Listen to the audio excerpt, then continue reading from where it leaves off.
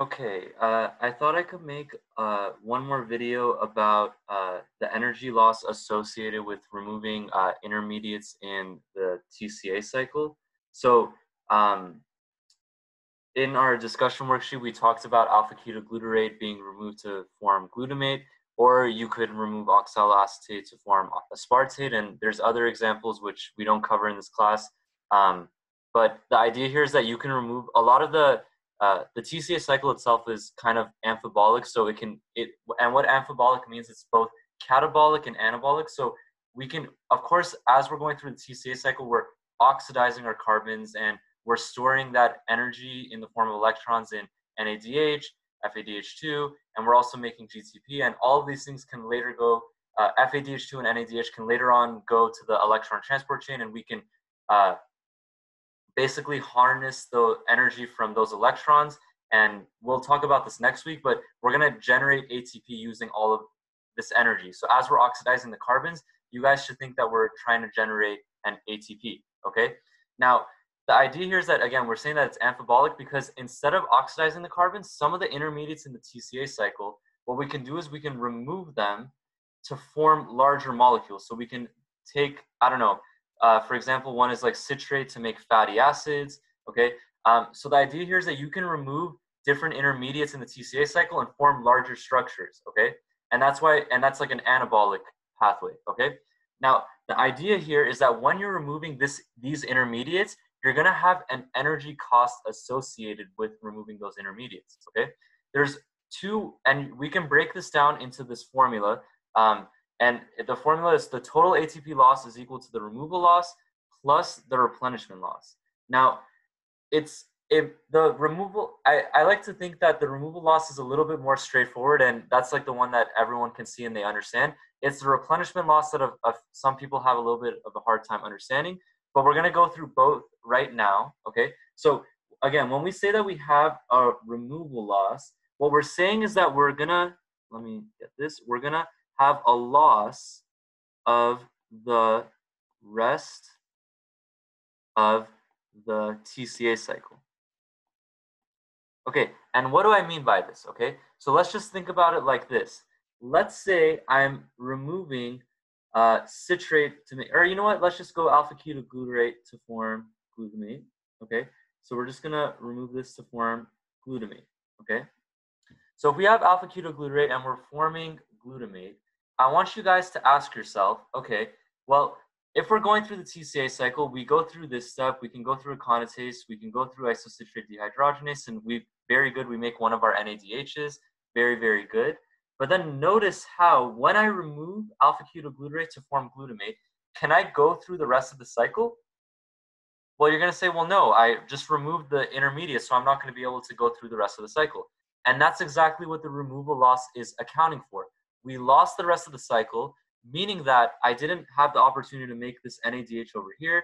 I didn't have the opportunity to make the GTP over here, or the FADH2, or this other NADH, okay?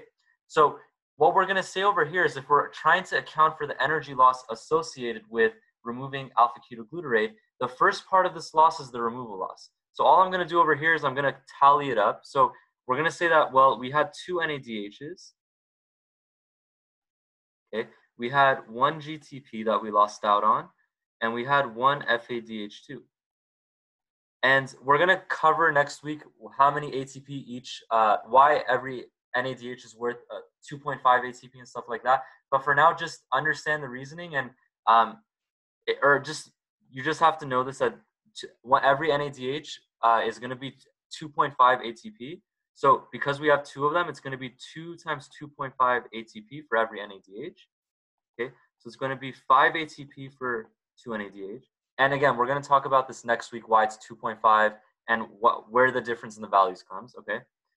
Um, we got 1 GTP, so 1 GTP can be converted to 1 ATP, so it's 1 times 1, so it's going to be 1 ATP. And then 1 FADH2, every FADH2, because and we only have one of them, every FADH2 is going to be worth 1.5 ATP. So in total, we have let's see, what, what do we have? 5 plus 1.5 plus 1 is 7.5. So the removal loss associated with removing uh, alpha ketoglutarate to form glutamate is 7.5 ATP. Okay. Now, this this number could very easily be a different number depending on what I'm removing, right? Because if you think about it, let's say instead of removing uh, alpha ketoglutarate, let's say I removed citrate. So let's just say I removed this intermediate. Well, now I don't go through the entire TCA cycle, right? So now I also have to count for this additional NADH, right? So now it's the NADH, this NADH, this GTP, this FADH2, this NADH. So now I'm missing out on three NADHs, one GTP and one FADH2.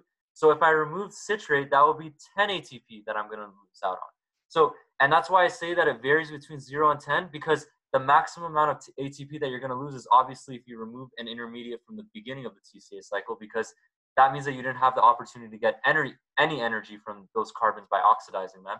Okay, so it could be a maximum of 10 ATP if you remove citrate, and alternatively, let's say we remove something at the end of the TCA cycle, okay? And I know you're gonna say there's no technically real end because um, it's a cycle and it there's no like end to a cycle, it's just, it loops.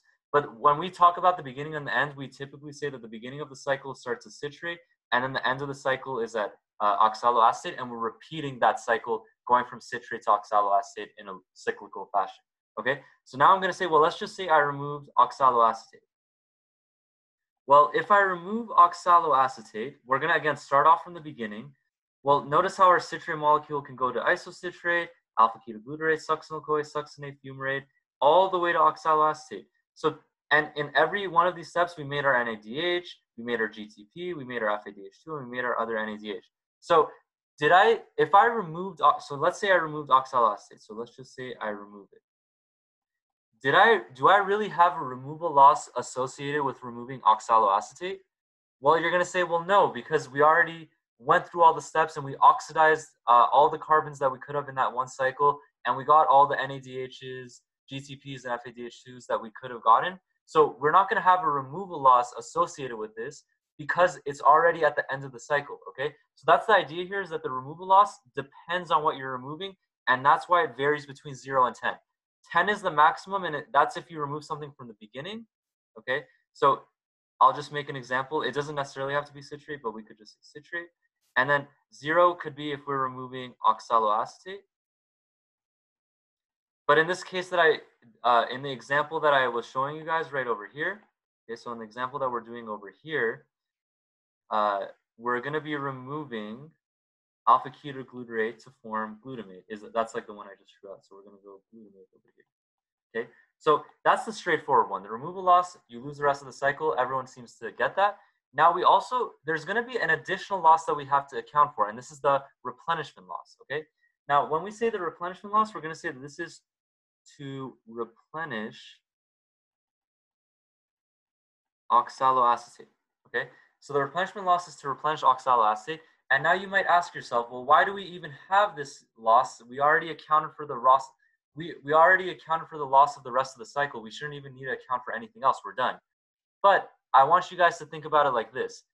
So remember, when we were doing our carbon tracing problems, we took this two carbon acetyl CoA and combined it with the four carbon oxaloacetate to form the six carbon citrate. And that we needed acetyl CoA and oxaloacetate to form every citrate molecule to start every new cycle, right? because acetyl-CoA and oxaloacetate are basically our starting materials for the next cycle. Now, let me ask you guys this question. Well, if we removed alpha ketoglutarate to form glutamate, so we remove this molecule from the TCA cycle, do I get to go through the rest of the TCA cycle? Well, you're going to say, no, I just removed it, so I'm not going to go through the rest of the cycle. So do I ever form oxaloacetate? And you're going to say, well, no, I'm not forming oxaloacetate. And if I don't have oxaloacetate, could I start the next cycle? Because remember, we need acetyl-CoA and oxaloacetate to start every cycle. So if I'm not make, if I remove something and I don't make oxaloacetate, can I start a new cycle?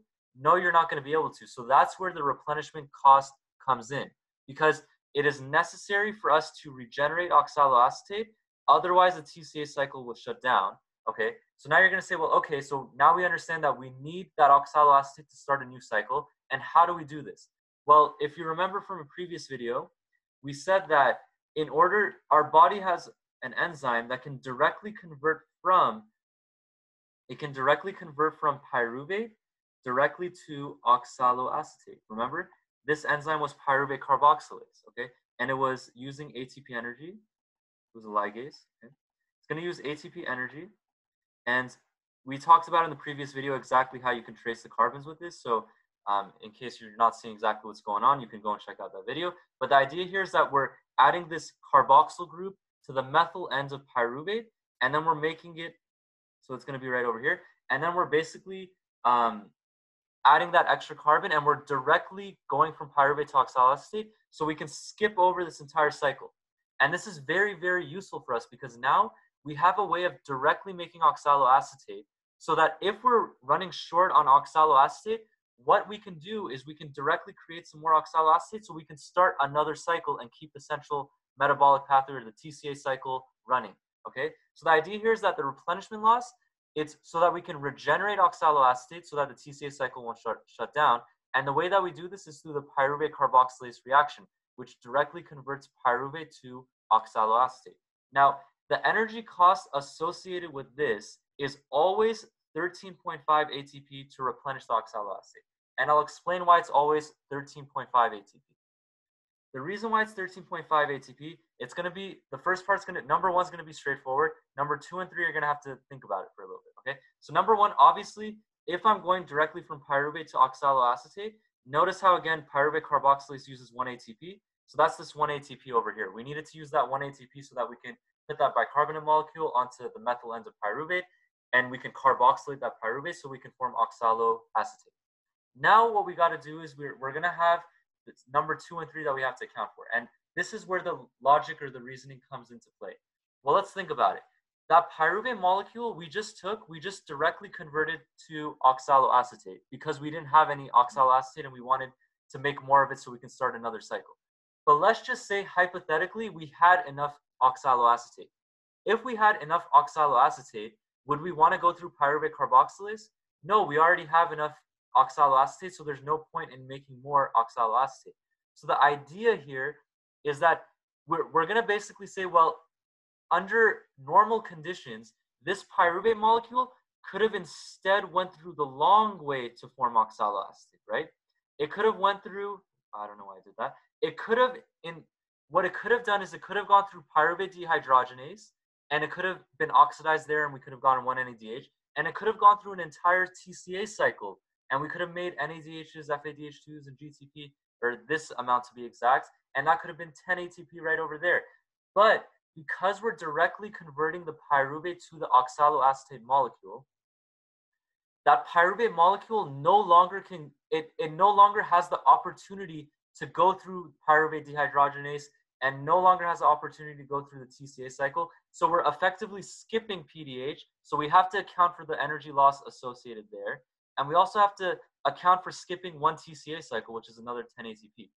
So in this case, that's going to be 13.5 ATP total. And again, this is always going to be the case no matter where I remove from the TCA cycle. The replenishment loss is always 13.5 ATP because you always need to go through these three steps in order to replenish oxaloacetate. Okay, so now you might ask yourself this one question. Okay, you're going to say, well, if it costs this much, why would we ever even need to do that?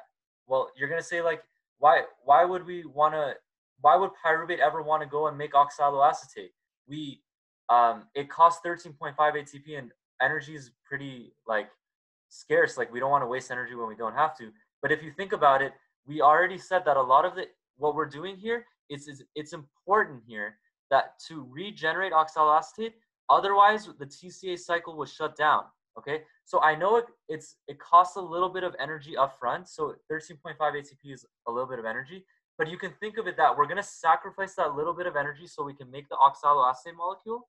Okay, and because now we're making oxaloacetate, we can now restart the TCA cycle because then now we can use that oxaloacetate to combine with acetyl CoA and we can go through the TCA cycle and make more energy. So it's making a little bit of a sacrifice up front so that you can later on reap the benefits. Kind of like how you guys are going to school right now and it's for some people it's not that fun and you're sacrificing a little bit now but later on you're going to reap the benefits uh, with hopefully having a better job or some profession that you really like okay? But that's the idea behind the replenishment loss and now what we're going to do again is we're going to say that the total loss so if we wanted to write out the total loss in this case so the total loss again is going to be the replenishment loss or not let's just go in order it's going to be the removal loss plus the replenishment loss. So removal loss plus the replenishment loss. And in this case, we said that our removal loss was 7.5. And again, this can vary depending on what you remove. And the replenishment loss, that's always going to be 13.5 ATP. So in total, it's going to be 21. So it's going to be adding 21 ATP. Okay.